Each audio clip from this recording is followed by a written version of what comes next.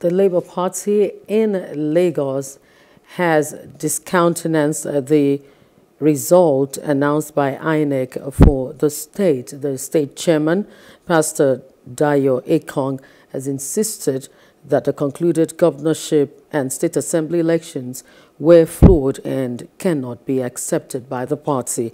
He said this after INEC announced the APC's candidate, Governor Babajide Sanwo-Olu, as the winner of the governorship poll. This was just as the resident electoral commissioner, Professor Segun Agbaje, called for calm. Our correspondent, Paul George, reports. 64192. Thank you very much. Party agents, journalists, and international observers gathered in this hall at the INEC office as they await announcement of the winners of the 2023 governorship and State House of Assembly elections. At 1.25 a.m., the returning officer in Lagos, Professor Adenike Temidayo Oladiji, declares Governor Babajide Sanwo-Olu as the winner. Sanwo-Olu Babajide Olushola of APC, meeting the requirements of the law, is hereby declared the winner and is returned elected. Signed by Professor Adenike Oladiji. This day, 20th day of March 2023. State chairman of the Labour Party, Pastor Dayo Ekong, challenges the process. She accuses the resident electoral commissioner, Professor Segun Agbaje of connivance, to rig the election in favor of the All Progressives Congress, APC. This election is a sham. Election marked by violence. We reported this case in the past election and nothing was done. I want to tell you, Mr. Agbaje, the rep, that you have failed the youth. You have failed the masses. You have not done the right thing.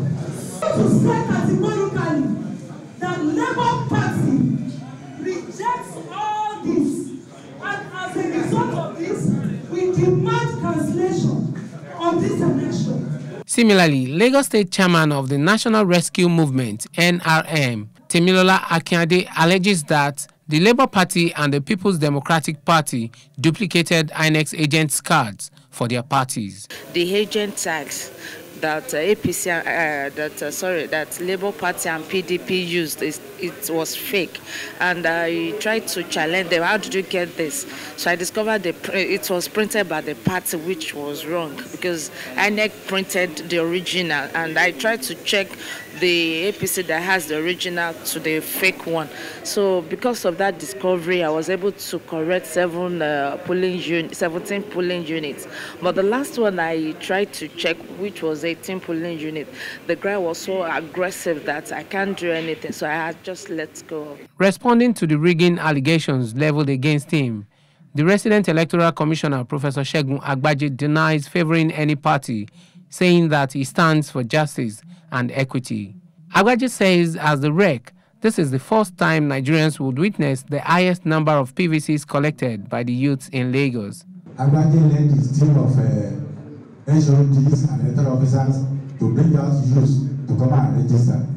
He brought them out also, went to go around the state to make them collect their PVCs. We did 88% collection in Lagos State. It has never happened before. That we did, and many youths collected their PVCs. So I don't know in what area or in which area Agbaje does not like youths in Lagos State. Nigerians await as the counter accusations of rigging continue, while some governorship candidates say they will seek redress in court. Paul George, Plus TV News. Hello. Hope you enjoyed the news. Please do subscribe to our YouTube channel and don't forget to hit the notification button so you get notified about fresh news updates.